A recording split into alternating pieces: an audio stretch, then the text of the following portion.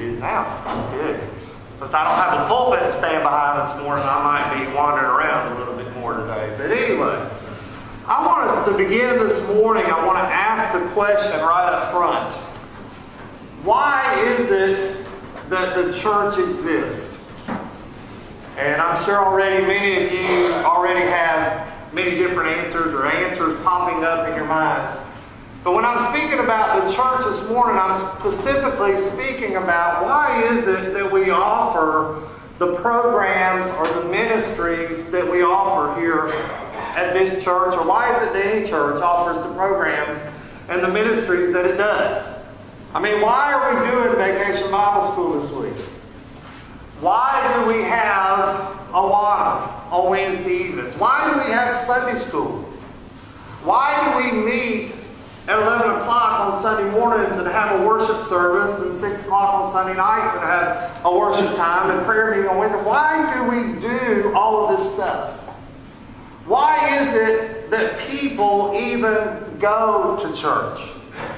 You know, I believe that there are many, even in the church itself, that still have a misconception or even a wrong idea of why the church exists and what the church is all about. It's about uh, kind of like a, a Methodist preacher who's been trying to get a man to come to his church for, for a while now. And finally, when he went to the man and he asked him, he says, Why is it you won't come to church? And the man said, It's just simply because I don't have any decent clothes to wear.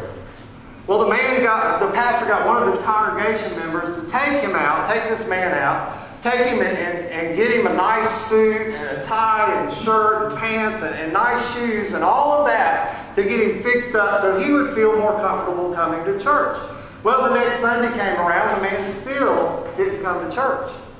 Well, the pastor went and visited him and says, You know, we got you all these nice clothes. Why, why did you not make it to church this past Sunday?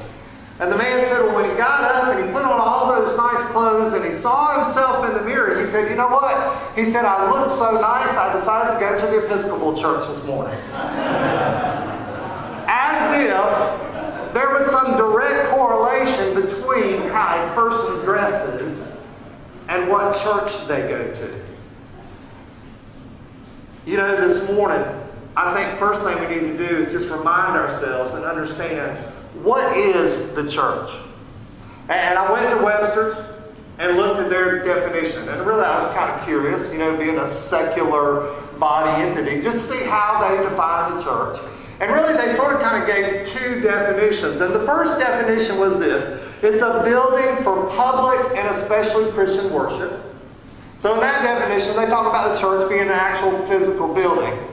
And then the other one, and they put in brackets there, they say often capitalized, which, of course, I'm sure they're meaning when it's capitalized with a capital C. Here's that definition a body or an organization of religious believers, such as the whole body of Christians.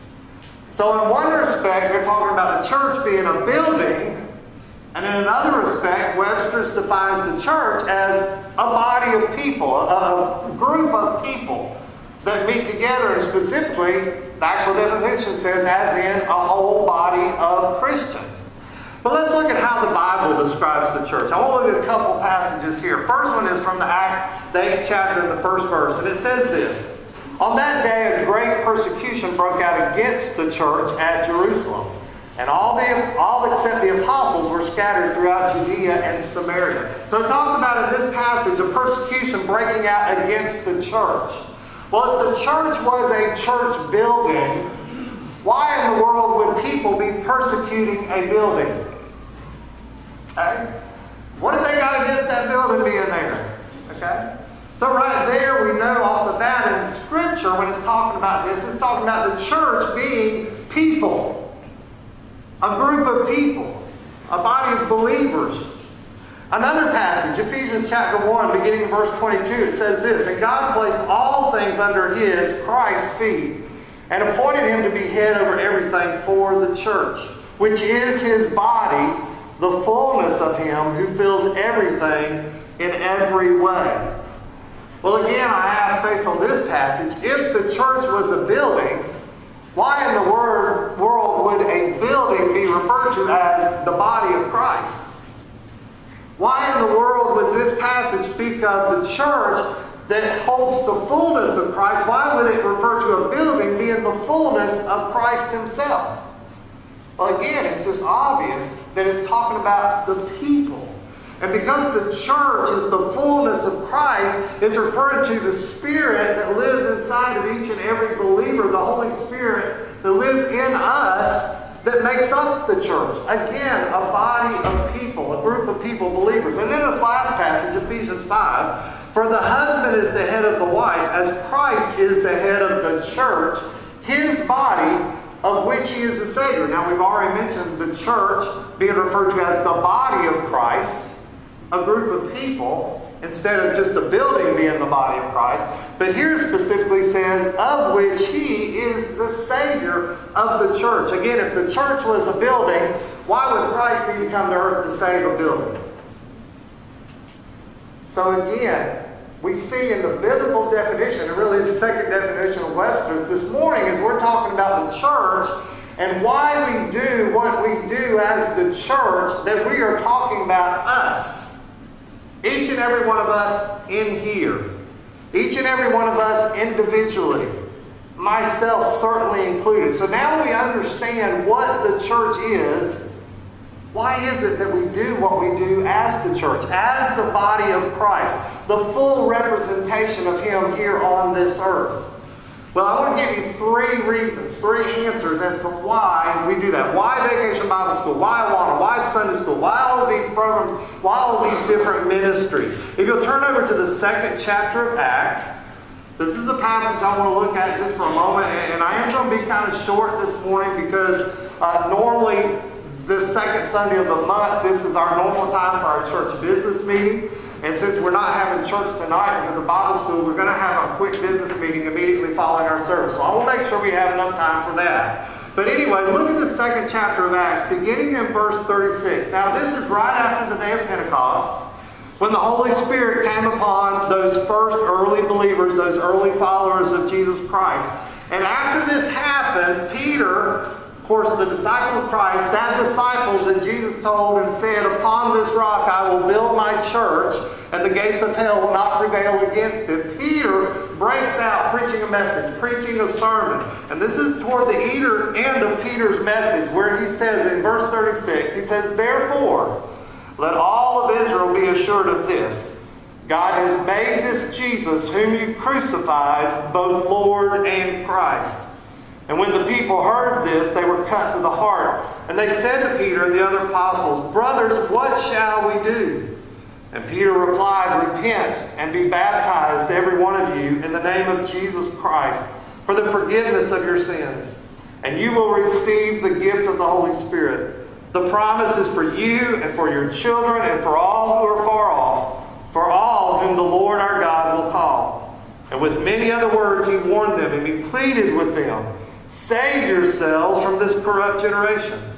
Those who accepted his message were baptized, and about 3,000 were added to their number that day. So here's the first reason why we do what we do. The first answer to that.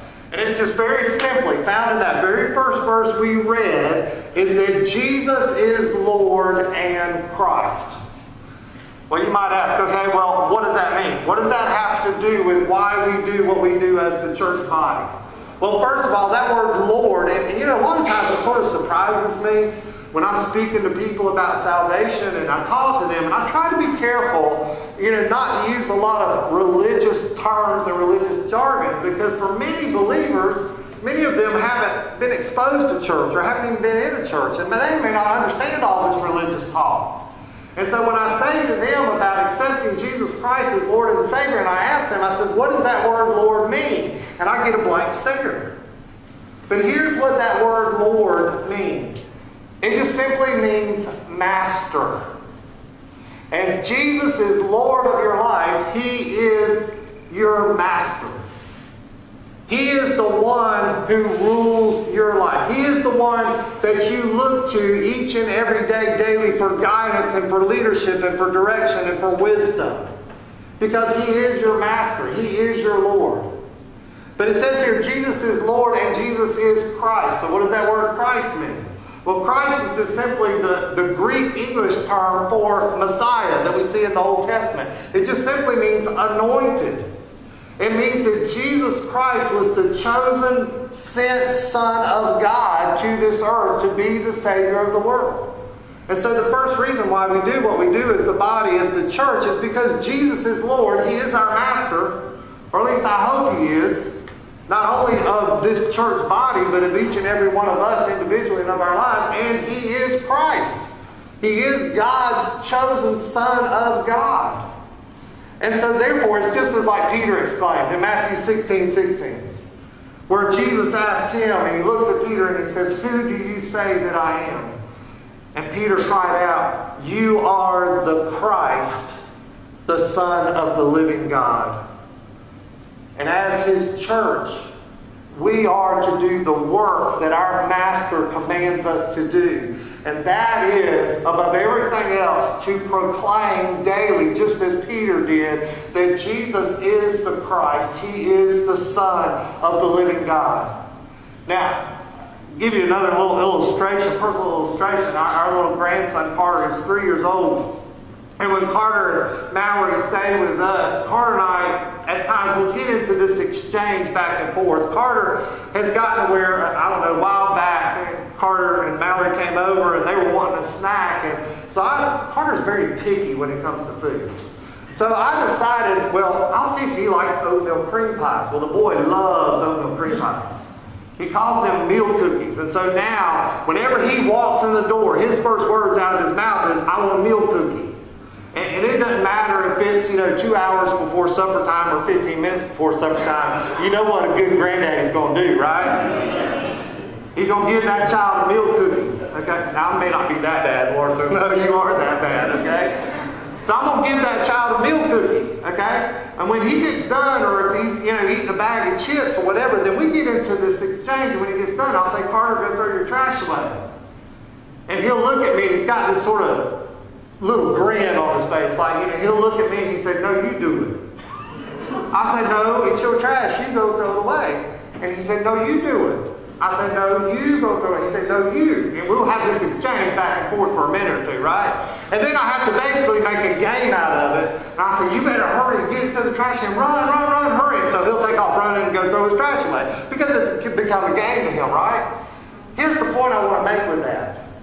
In the church, there are too many people that think somebody else needs to do it when it comes to the work of the church. Psalm 96 says this Sing to the Lord a new song. And when it's talking about a new song, it's talking about praise coming from our mouth, coming from our lips, because of the change that Jesus has made in our heart and in our life. Because we are new creations. And so therefore, we're going to sing a new song of praise to the Lord. It says, Sing to the Lord a new song. Sing to the Lord all the earth. Sing to the Lord, praise his name, proclaim his salvation day after day. And it doesn't continue there, but I'm tempted to say day after day after day after day after day, as long as we're here on this earth. And then it says, declare his glory among the nations, his marvelous deeds among all peoples. It's because Jesus is Christ and Lord is why we do what we do as the church, as the body of Christ. Here's the second reason why. It's because people are lost and searching. If you look at verse 37, after Peter says to them, God has made this Jesus whom he crucified both Lord and Christ, and says the people were cut to their hearts. And then they asked Peter, they said, Well, brothers, what shall we do? We got a lot of people out there right here in Mount Vernon today. We got a lot of people in the state of Georgia. We got a lot of people everywhere asking, What do I need to do in order to have eternal life? What do I need to do in order to be right with God so that I can know with complete confidence and assurance that when my time on this earth is over, I'm going to be in heaven? There's a lot of people asking, what do we do? And there are a lot of people searching, trying to find out what they need to do. I know many of you, you've probably heard of Charles Spurgeon. Probably, at least in my opinion, probably one of the best preachers ever of all time. I don't know how many of you have actually heard Charles Spurgeon's testimony of how he came to know Jesus Christ as his Lord and Savior. And if you'll just bear with me, I want to read to you uh, his own words of his testimony, how he came to be saved. He says this. I sometimes think I might have been in darkness and despair until now, had it not been for the goodness of God in sending a snowstorm one Sunday morning while I was going to a certain place of worship. I turned down a side street and I came to a little primitive Methodist church. And in that chapel, there may have been a dozen or 15 people. He said, I'd heard of the primitive Methodists, how they sang so loudly that they made people's heads ache. But that did not matter to me. I wanted to know how I might be saved. Well, the minister did not come that morning. He was snowed up, I suppose. At last, a very thin looking man who was a shoemaker, a tailor, or something of that sort, he went up to the pulpit to preach. Now, it is well that preachers be instructed, but this man was really stupid. I mean, this is Charles Spurgeon's own words, right? He was obliged to stick to his text for the simple reason that he had little else to say. And his text was this from Isaiah 45 22 Look unto me and be ye saved, all the ends of the earth. Spurgeon goes on to say he did not even pronounce the words rightly, but that did not matter. There was, I thought, a glimmer of hope for me in that text. And then he said this tailor, the shoemaker, began to say this. This is a very simple text indeed. It says, look. Now looking don't take a deal of pain. It ain't lifting your foot or your finger. It is just look. Well, a man needn't go to college to learn to look. You may be the biggest fool, and yet you can look. A man needn't be worth a thousand a year to look. Anyone can look. Even a child can look. But then the text says, Look unto me. A, he said in his broad Essex dialect, he said, Many on ye are looking to yourselves, but it's no use looking there. You'll never find any comfort in yourselves. Some say, Look to God the Father. No, look to him by and by. But Jesus Christ says, Look unto me. Some on ye say, We must wait for the Spirit's working. You have no business with that just now. Look to Christ. The text says, Look unto me. And then the good man followed up his text in this way Look unto me. I am sweating great drops of blood. Look unto me. I am hanging on the cross. Look unto me, I am dead and buried. Look unto me, I rise again. Look unto me, I ascend to heaven. Look unto me, I am sitting at the Father's right hand. Oh, poor sinner, look unto me, look unto me. And when he had managed to spin out about 10 minutes or so, he was at the end of his tether, and then he looked at me under the gallery, and I dare say, with so few present, he knew me to be a stranger. And just fixing his eyes on me as if he knew all my heart, he said, Young man, you look very miserable. Well, I did. But I had not been accustomed to have remarks made from the pulpit on my personal appearance before. However, it was a good blow, struck right home. And he continued, And you will always be miserable. Miserable in life and miserable in death if you don't obey my text. But if you obey now, this moment you will be saved. And this lifting of his hands, he shouted as only a primitive Methodist could do. Young man, look to Jesus Christ. Look, look, look. You have nothing to do but look and live. And Charles Spurgeon said, I saw at once the way of salvation. You know, you never know when somebody might walk through these doors of the church who is lost and who is searching for some meaning and some purpose for living, and they need their eyes open so that they can look and they can see that the way to salvation is through Jesus Christ alone. Many of those will be walking through these doors this week. So the reason why we do what we do is because Jesus is Lord. He is our Master. He is Christ. He is the chosen one sent by God. And also because people are lost and people are searching. But here's the last reason. Is because it is an investment in people's eternity. If you look at verse 41, we're told here that those who accepted the message of Peter, they were baptized. and about 3,000 were added to their number that day. Do you realize that before this, there were only about 120 followers? And in one day, 3,000 were added. Do you realize that's a 2,500% increase in that church that one day? Whew. I think if that happened here, some of us would run.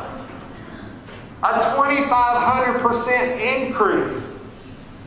You know, the fact is, whatever ministry, whatever program we offer here is because we are investing in the lives of people. We are investing in their eternity and investment in the kingdom of Jesus Christ Himself. You know, I can invest myself, I can invest my time, I can invest my financial resources in my family. I can invest myself, my time, my financial resources in my work. I can invest myself and my time and my financial resources in this church, even. But none of that has any significance for eternity like making that investment in the salvation of people's souls. That's why we do what we do. And if we do what we do for any other reason, then we're doing it for the wrong reason. So why are we doing VBS this week? Or why is it we're doing anything else that we do? Because it's an investment in the eternity of children and of youth and of adults. And there should be no other reason. Would you bow your head with me?